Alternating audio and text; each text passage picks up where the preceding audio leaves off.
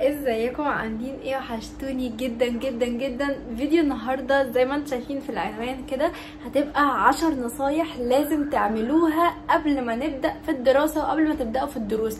ولو بدأتوا الحقوا نفسكم عشان إحنا لسه في البداية. كنت ناوية بصراحة أصور لكم بالنضارة بس لقيت إن هي بتعكس مع ال ring light شكلها وحش. بس هنكتفي بإن إحنا نحطها فوق دماغنا كده بقى بما إننا بنعمل فيديو عن المذاكرة. أول حاجة جايبة النوتة جنبي لأن أنا كاتبة فيها العشر نقاط بتاعة الفيديو بتاعة النهارده فتابعوا الفيديو للآخر. ايا يكن سنك بقى كنت في إعدادي في ثانوي في ابتدائي في, ع... في في أي حاجة كده هتحتاجي الفيديو ده لأن هو أساسيات لأي مرحلة انت داخلاها وتركزوا في الفيديو ده كويس جدا. لو أنتوا داخلين على مرحلة زي ثالثه إعدادي أو ثالثه ثانوي أو داخلين على مرحلة مرحله الجامعة. الفيديو ده هيهمكم جدا ويلا بينا نبدأ في الفيديو بتاع النهارده. معلومه كده بس في البداية لازم أوضحها لكم. أنا عايزاكم تكملوا الفيديو للآخر لسبب. بعد كده في كل فيديو هنعمله هيبقى في آخره فيه واجب. يعني عارفين كده لما بنروح المدرسة أو بنروح ال ال الدرس بتاعنا وبيبقى فيه واجب بيبقى فيه هوم كده للحصة بتاعتنا فبعد كل حلقة هيبقى فيه واجب فتابعوا الفيديو للآخر عشان تشوفوا الواجب بتاع حصة النهارده. أول حاجة يعني مش عارفة أقول لكم قد إيه مهمة وبتفرق وبعملها في بداية كل سنة وكل ترم تمام؟ وهي إننا نحط لنفسنا من أول نص ساعة لساعة يوميا قبل الدراسة مثلا بأسبوع كده أو في الفترة اللي إحنا فيها دلوقتي إن إحنا نبدأ نركز كده ونفكر آه إحنا عايزين نعمل إيه؟ إحنا قدامنا قد إيه؟ إحنا داخلين على مرحلة إيه؟ والمرحلة دي بالنسبة لنا مهمة ولا لأ؟ طب إيه, إيه الأهداف اللي عايزين نعملها طول السنة؟ لازم نقعد ونفكر كده وأهم حاجة الأجندة أو النوتة بتاعتنا الصغيرة. بصوا النوتة دي كيوت جدا وحلوة قوي. أنصحكم إن أنتوا تجيبوا حاجات زي دي. بتشجع بتشجع الواحد على إن هو يكتب وبتشجع الواحد على إن هو يدون الأفكار بتاعته. فبصراحة زي ما قلت لكم أهم حاجة إن أنتوا تخلوا مع نفسكم ساعة يوميا تتع... تفكروا فيها تقولوا إيه الأخطاء اللي عملناها السنة اللي فاتت ومش عايزين نكررها السنة دي. أنا مثلا السنة اللي فاتت اهملت أهملت نفسي من أول الدراسة أو شديت نفسي في الأول وبعد كده أهملت في نص الدراسة. نشوف الأخطاء نشوف الحاجات اللي اتعلمناها وعايزين نكررها. نحدد أهداف لنفسنا ونحدد إحنا عايزين نعمل إيه الفترة اللي جاية. الخطوة دي هتفرق معاكي جدا. وتعالى أقول لك الوقت المناسب اللي تعملي فيه الموضوع ده إنك تصحي الساعة 7 الصبح. يا لهوي على الروقان. الساعة 7 الصبح كوباية النسكافيه بتاعتك قاعدة في البلكونة أو جنب الشباك أو في مكان الإضاءة بتاعته هادية كده ومش حاجة تضرب في وشك وتبدأي إن أنت تقعدي تمخمخي كده وتفكري أنت عايزة تعملي إيه السنة اللي جاية. الحاجة اللي بعد كده والنصيحة اللي عايزة أقولها لكم بعد كده بصوا دي بقى يعتبر دي تاني آه نصيحة تاني نصيحة آه بس أهم نصيحة في النصايح كلها إن أنت تعملي صفحة كده تقسميها لأربع يعني أربع مربعات فاهمين قصدي؟ لما تقسموها لأربعة هتقسموا أول قسم خالص. أنا كاتبه جنبي هقراها لكم بالظبط علشان ما نتلخبطش. أول قسم هتع... هتعمليه في الأربع أجزاء وهو هيبقى المعدل الدراسي اللي انت عايزة تجيبيه. يعني بمعنى أصح انت دلوقتي مثلا داخلة على ثانويه عامة حاطة في دماغك أنا هجيب في الثانوية العامة 98% هجيب في الثانوية العامه 99% بس نصيحة صغيرة عايزة أقولها لكم تحاولوا على قد ما تقدروا يا جماعة تزودوا في ال level في دماغكم. تعالوا أقول لكم ليه. أنتوا لو حطيتوا في دماغكم إن أنا عايزة أجيب 95 هتجيبوا 90 حطوا في دماغكم عايزين تجيبوا 90 هتجيبوا في الثمانينات فأحسن إن أنتوا تعلوا ال level يعني تحطي في دماغك أنا عايزة أجيب 99% جبتي 95 96 هتبقي راضية. فاهمين قصدي؟ يعني تحاولوا إن أنتوا تعلوا عن المرحلة اللي أنتوا عايزين تدخلوها. عايزين تدخلوا مثلا كلية بتاخد في الثمانينات لا حطوا في دماغكم إن أنتوا عايزين تجيبوا في التسعينات. عقلكم الباطن بيلعب دور كبير جدا. تمام؟ تاني حاجة إن انت لازم تعملي في النص التاني علاقتك مع ربنا وإيه الحاجات اللي محتاجة إنك تثبتي عليها وتقوي إيمانك بيها. يعني بمعنى أصح أنا مثلا محتاجة أنتظم في الصلاة. فهتكتبي في الجزء ده إن أنا عايزة أنتظم في الصلاة. تبدأي إن انت تقسمي كده تعملي جدول صغير. طبعا ده مجرد تقسيمة كشكل بس هتعملي جدول تاني في كراسة تانية أو في أجندة تانية أو في ورقة لوحدها تانية. تكتبي فيها بقى مواعيد الصلاة وتكتبي أنا صليت النهارده كذا ما صليتش كذا. تبدأي إن انت تنتظمي في الصلاة. الصلاة أهم من أي حاجة يا جماعة وكل حاجة بتيجي بتوفيق ربنا. فلازم تعملوا الخطوة دي. نيجي للحاجة الثالثه وهي الهواية. لازم تحطي في الخانة الثالثه الهواية بتاعتك. انت مثلا بتحبي القراية بتحبي أشغال ال handmade بتحبي التصوير بتحبي أي حاجة. عندك هواية وخلاص. بتحبي الرسم هتسيبي وقت لنفسك إن انت في الوقت بتاع الدراسة ده تكوني عارفة إن الوقت ده هرسم فيه. مثلا يوم الجمعة من الساعة كذا لكذا. مثلا الصبح هصحى أذاكر وبعد ما أخلص مذاكرة هاخد بريك أقعد أعمل فيه الهواية بتاعتي. أهم حاجة إن أنتوا تقسموا الوقت بتاعكم بطريقة منتظمة ومش تخلوا الوقت بتاع اللعب أكتر من الدراسة علشان ما نتعودش على الحل ده.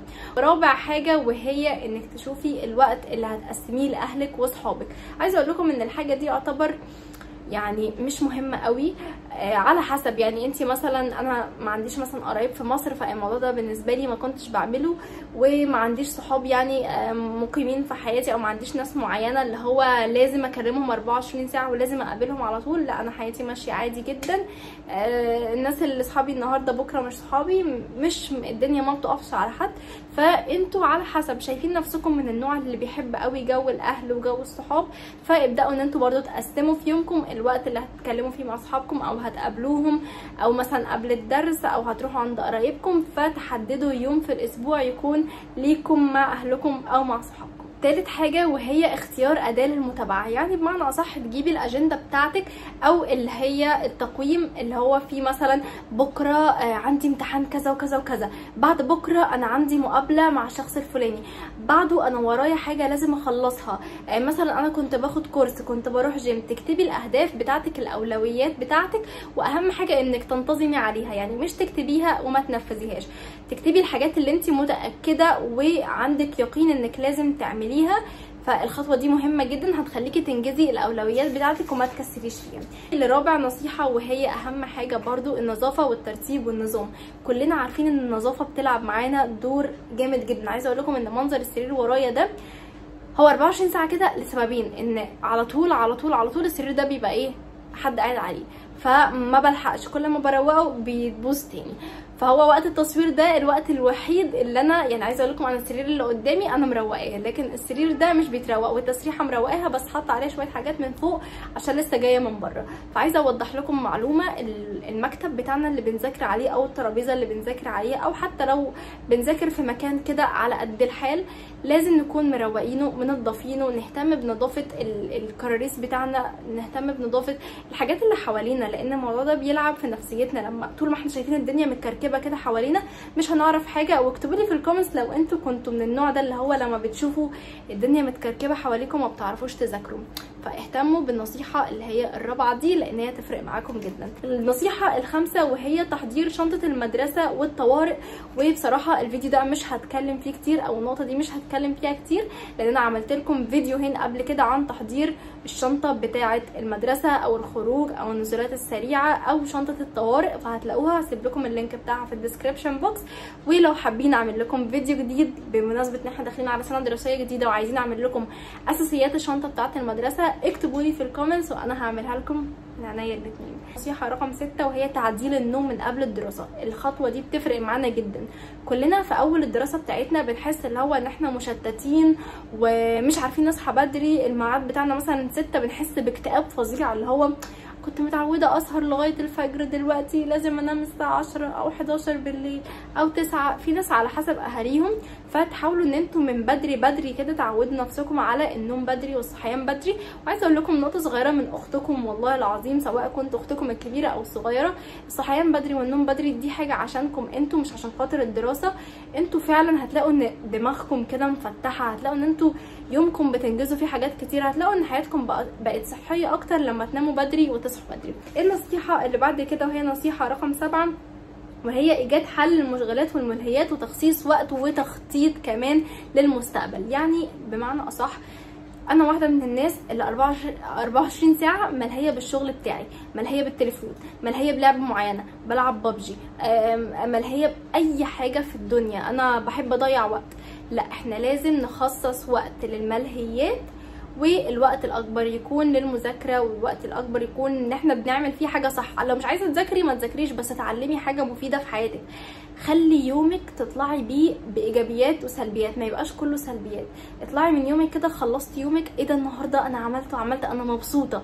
خلي نفسك دايما قبل ما تنامي تكوني مبسوطة إنك عملتي حاجة معينة اتعلمتي مهارة معينة ذاكرتي جزء كبير عملتي عمل خير فهو مخليكي مبسوطة. فاهمين قصدي؟ فلازم تلاقوا حل للملهيات ولو عايزين أعمل لكم فيديو اللي هو إزاي نحاول إن إحنا نقلل من استخدام التليفون إزاي نحاول إن إحنا نمسك نفسنا ونعرف وقت المذاكرة نركز على وقت المذاكرة ونخصص وقت وننظم وقتنا. لو عايزين فيديو مخصوص بالموضوع ده اكتبوا لي في الكومنتس دي بقى للنصيحه الثامنه وهي إنجاز المهام المؤجلة علشان نبدأ بداية صح. أنا دلوقتي واحدة من الناس اللي دايما كل فترة وفترة بحب آه يعني أروق الدولاب بتاعي وأطلع الحاجات اللي هي ادمت عليا وأرميها. مثلا ورايا ميعاد للدكتور بس مأجلاه. عندي مشكلة مثلا في اسناني بس مأجلاها لقدام. آه مثلا هقول لكم أمثلة لأن أنا كنت كاتباها. آه أنا مثلا بحب كل فترة وفترة آه أمسح الحاجات الزيادة اللي على موبايلي. بحب إن أنا آه آه أرتب غرفتي كل فترة وفترة وانضفها بشكل اللي هو عميق عميق.